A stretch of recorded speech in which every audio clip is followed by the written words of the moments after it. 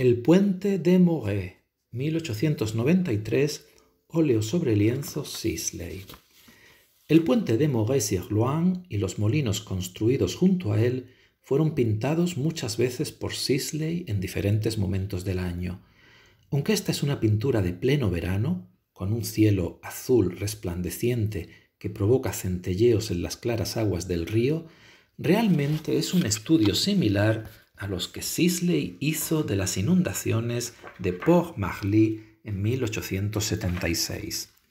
Aquí aparece el mismo cuidadoso equilibrio entre el agua, el cielo y los edificios, sus diferentes planos asociados por la composición de la obra.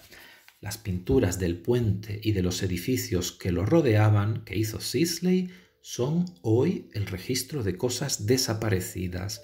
Los molinos no existen ya y el puente, gravemente dañado durante la Segunda Guerra Mundial, ha sido ampliamente restaurado.